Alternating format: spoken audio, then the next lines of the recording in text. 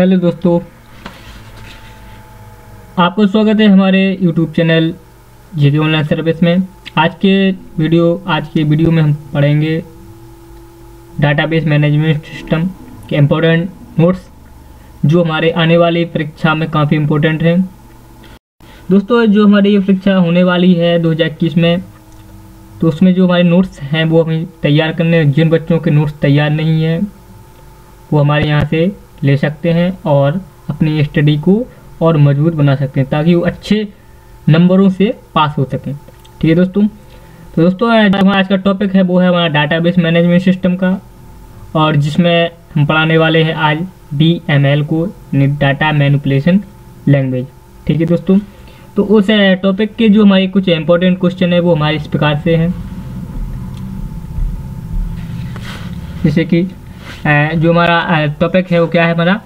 Database management system का topic है, यानी लेसन है। लेसन का टॉपिक क्या है? डी एम एल यानी कि डाटा मैनिपुलेशन लैंग्वेज ठीक है दोस्तों? तो जो डी एम एल का फुल फॉर्म क्या है पहला? तो ये तो हो जाएगा अपने ये डाटा मैनिपुलेशन लैंग्वेज ठीक है दोस्तों? इसके अलावा, जो सेकंड क्वेश्चन वो क्या है हमारा? डेटाबेस में टेबल को मॉडिफाई करने के लिए किस कमांड का प्रयोग करते हैं? दोस्तों तो दोस्तों, जो हमारा डेटाबेस की जो टेबल रहती है, उसे मॉडिफाई करने के लिए हम किसका कमांड का प्रयोग करते हैं? डी एम एल कमांड का प्रयोग करते हैं। तो डी एम एल कमांड में भी और भी कमांड होती हैं, जो हम आगे पढ़ेंगे। ठीक है दोस्तों? तो तीसरा क्वेश्चन क्या है हमारा?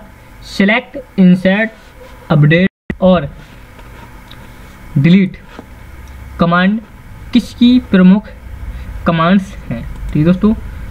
तो सिलेक्ट इंसर्ट और अपडेट किसकी कमांड है?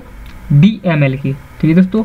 यानी जो हमारी सिलेक्ट इंसर्ट अपडेट और डिलीट कमांड है, वो किसकी प्रमुख कमांड है? डी एम एल की। ठीक है दोस्तों? इसके अलावा हमारे पास फोर्थ क्वेश्चन है। डेटा बेस से डेटा को प्राप्त करने के लिए किस कमांड का प्रयोग किया जाता है? ठीक है दोस्तों? यानी दोस्तों जो हमारा डेटाबेस रहता है, ठीक है? तो उस डेटाबेस से जो डेटा हमें लेना होता है, जैसे हमें किसी का नाम का डेटा है, जैसे किसी का भी नाम ले लेते हैं तो उस नाम से जितने भी रिलेटेड डेटा रहता है, की फ़ील्ड से हम उसका डेटा किस कमांड द्वारा लेते हैं सिलेक्ट कमांड के। ठीक है दोस्तों? जिससे उसमें हमारी एज एड्रेस प्रयोग या सेक्टर किस सेक्टर का है, किस जगह का है, इस प्रकार से हम उसमें से अपना पूरा डेटा उसका ले सकते हैं, किस कमांड के द्वारा? सिलेक्ट कमांड के द्वारा। ठीक है दोस्तों? फोर्थ क्वेश्चन हमारे पास क्या है? किसी टेबल में वैल्यूज़ यानी डेटा वैल्यूज़ के साथ एक एक रो अथवा रिकॉर्ड को इंसर्ट करने के लिए किस कमांड का उपयोग किया जाता है? ठीक है दोस्तों? यानी जो हमारा डेटा टेबल है, उस टेबल में जो डाटा की वैल्यू रहती है, ठीक है?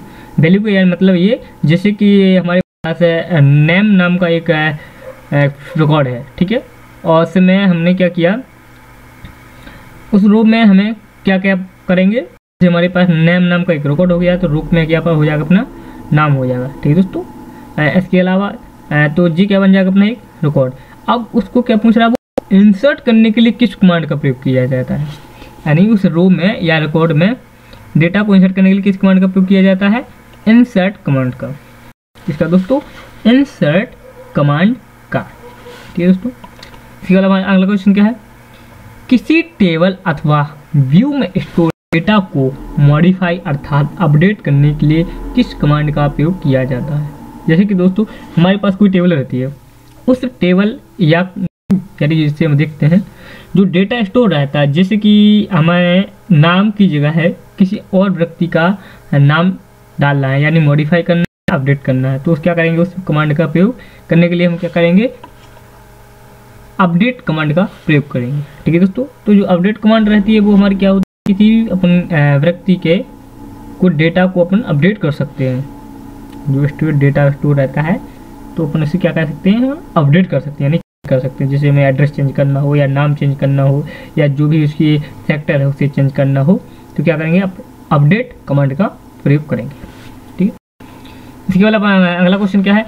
किसी टेबल से रोज अथवा रिकॉर्ड्स को मिटाने या डिलीट करने के लिए किस कमांड का प्रयोग किया जाए? ठीक है दोस्तों? यानी जैसे मेरे पास टेबल है, उस टेबल में रो या रिकॉर्ड्स है, जो भाई रो कॉलम होते हैं रिकॉर्ड्स माने कॉलम तो उसमें से जो हमारा डेटा रहता है, उस डेटा को हटाने के लिए क्या करते हैं डिलीट कमांड का प्रयोग करते हैं। ठीक है दोस्तों? दोस्तों आज का हमारे टॉपिक के ये यही क्वेश्चन रह गए, हो चुके हैं। इसके अलावा दोस्तों, अगर आपने अभी तक हमारे चैनल को सब्सक्राइब नहीं किया तो चैनल को सब्सक्राइब कर लें, ताकि हमारी जो आने वाले नोट्स या टॉपिक है या कोई वीडियो है तो वो आपको सबसे पहले मिल सके। ठीक है दोस्तों? इसके साथ ही अगर आपको वीडियो पसंद आए तो लाइक करें और साथ में अपने दोस्तों को शेयर भी कर लें। और चैनल के साथ बने रहें ताकि आपको अपनी स्टडी के लिए ज़्यादा से ज़्यादा डेटा मिल सके ताकि आप तैयारी अच्छी तरीके से कर सकें और अपने नंबर को ज़्यादा से ज़्यादा ला सकें। ठीक है दोस्तों? आज के लिए बस इतना ही।